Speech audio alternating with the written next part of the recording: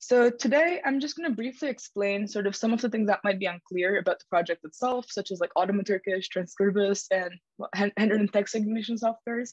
And then I will go on to sort of briefly outline whys of this project and what kind of contribution it makes to the field. And then I will go into a little bit more technical details. So uh, please bear with me because I think those are very interesting for multilingual DH especially.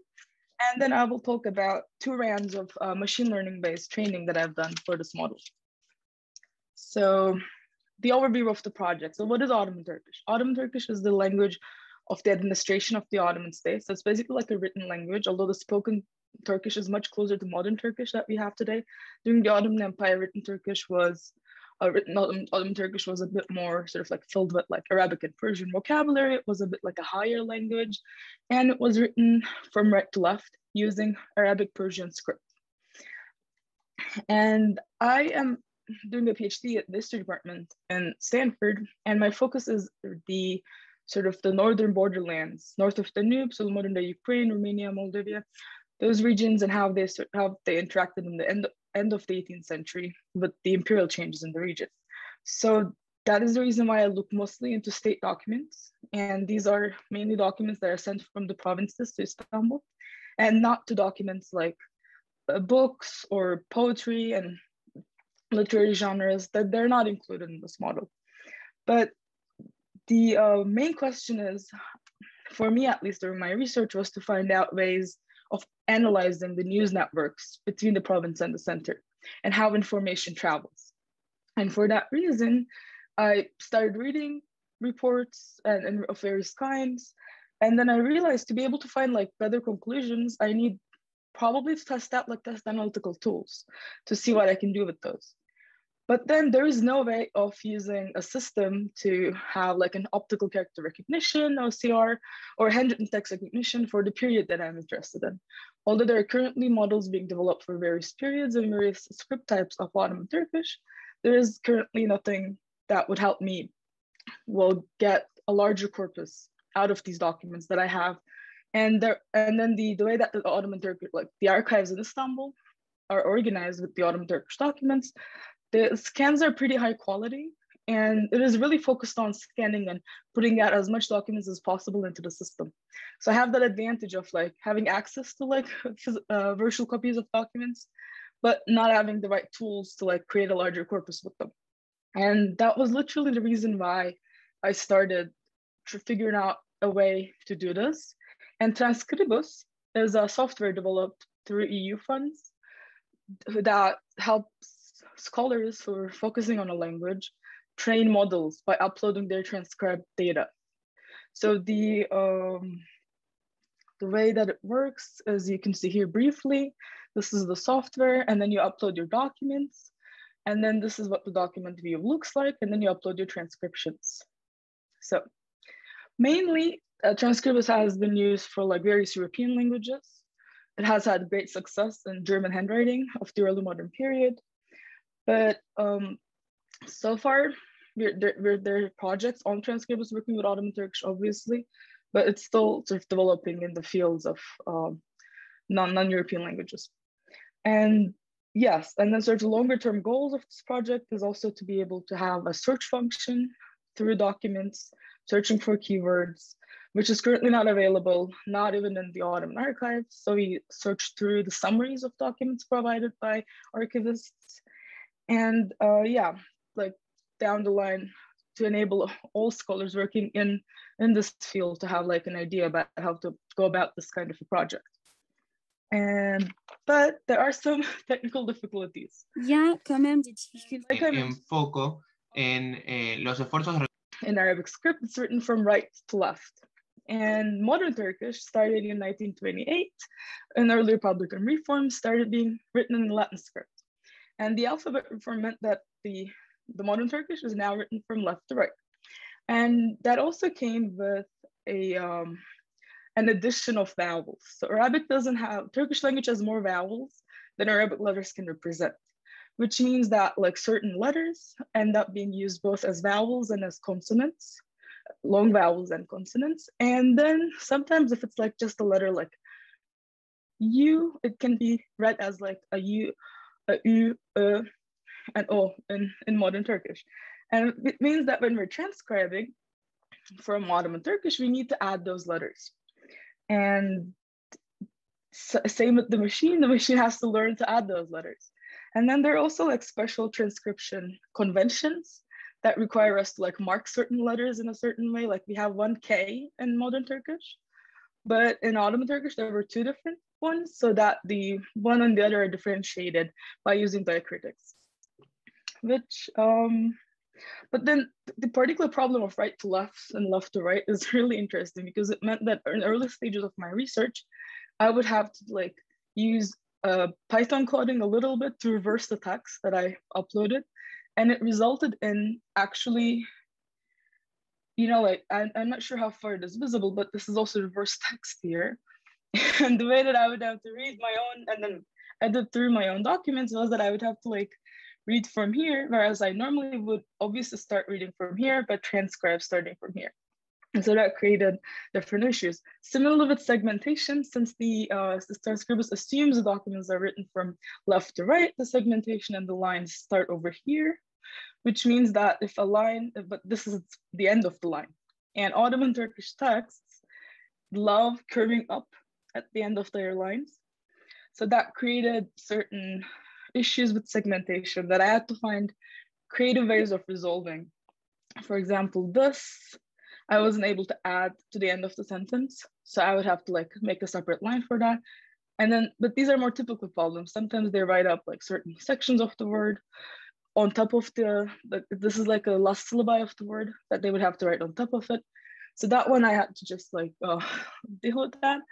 And but yeah, these are quite interesting challenges, and especially considering that the softwares that we're using were not designed to be used by the languages that we're using them right now, there's a slow process of, of adaptation. But I will reflect on that a little bit later, but Transkribus is at least successfully sort of responding to our needs as more people in, in our fields and our languages use these softwares. And this is a little bit longer on the, on the issue of consonants versus long vowels. I'm going to be very brief about it. You can see that here, this letter called Vav. It can be both like a V and um, like a vowel like a O or U uh, with the, the, dots, the Turkish U, O or Ö. And it means, this means that, and this is a tricky example, but it comes up a lot in my documents because it refers to the voivodes in the provinces who are sending these um, reports. But then it means that the machine has certain complications of understanding when it's in learning and it takes a longer time and it requires a longer data set. And here you can see the same letter. And in this case, the letter is supposed to be a U. But then the like the machine thought in like one of the after the first round of training, that was supposed to be a V. Uh, but then here it was fine with like transcribing it as a U. And here as well, but then there are like different complications. So it's really sort of um, a different approach with the, the vowels being added to the to the words as opposed to like already being there. And then the training. So my training data, like I said, was really based coming out of my historical research. And that's why I had about, actually for my research, I had a little bit more than 10,000 words, all hand transcribed for the purposes of like another paper. And then I've selected some of them I've decided to leave out because of the differences in the script. And I was also reading some other materials that didn't really fit in with this. So I ended up with about 7,200 words, which is less than sort of the 10,000 words is the ballpark for like training a model from zero. And so that was the little sort of, it was lacking, but you know, like start with whatever you have. So I'm quite uh, proud of it actually. And then I had about one, uh, so 21.82% of uh, character recognition error rate in the, in the test day. So what, what happens in this training process is that you upload those, these data, these documents with the transcriptions, and then you pick one, well, usually you should pick more than one, but I picked one due to the amount of documents that I had for the validation set. And then after training the model, based on this information, the model tests itself on the validation set. And then since I've already uploaded a transcription of this validation set, they, they, they can check back how much of it the machine got wrong. And it got wrong about like 20, 21.82% of the um, of the words characters. And, but then there is still some hopeful elements. Since my data set is pretty closed, I have like a lot of similar documents. And that means there are a lot of like repeating text. And in, this is a document that I've uploaded later on that wasn't a part of the original set. And in that document, you can see that it had relative success. And so this is the part, the, the addressing part of like how to write to someone. This is like the letter heading in a way. And that part sort of got pretty good. Like it was, and then this also repeats at the end because it refers to the Sultan in this case. So those are pretty fine because they repeated a lot of times and they followed like one another a lot of times. So it was like a standardized phrase. But then it had issues with certain um, words like Eflak, this is Wallachia, that's uh, like a difficult word that wasn't always so easy, but then words that repeated a lot like Dafa or Dair, but like enough repetitions also like seem to be coming out of the model pretty fine despite of like not having added enough training data. And then the question emerges that what how am I going to go forward with this? Because it takes months to transcribe documents like and then I also have other research. So the solution was uh, collaboration. And I got documents uh, from a colleague of mine from Vienna that I could use for the model training which will in turn be used in the project on Academy of Sciences in Vienna and but his documents are a little bit different in the sense that they also like go into the first half of the 19th century, but then it does add diversity. So there's that advantage of diversity of script.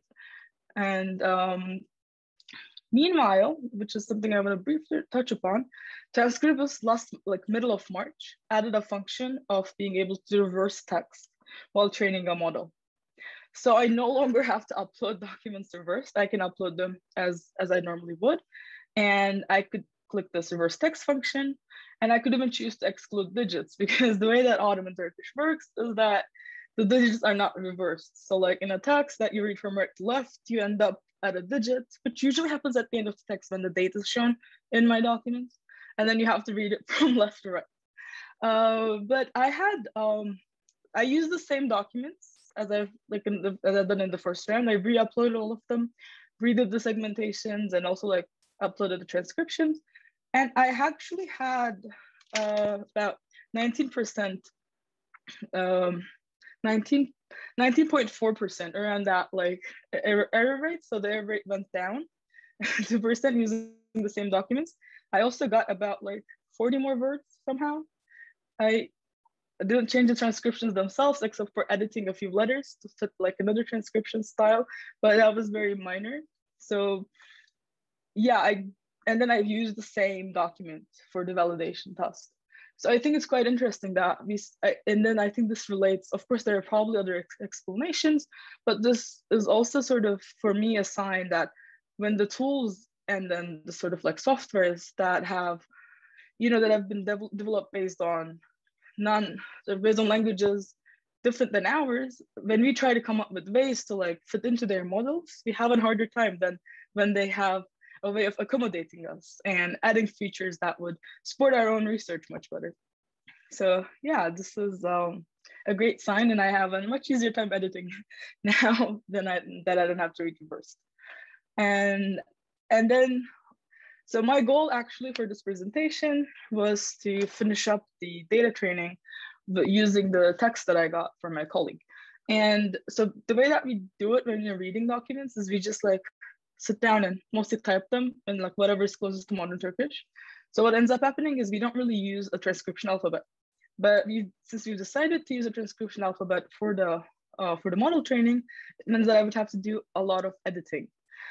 And that this is sort of like the editing software that I use since a lot of words come up in all of these documents. I find it easier to do like a multi-file search to edit these documents, but then I have to be careful that with, you know, like but the way that sometimes they just pop up in the middle of another word just because the letters fit.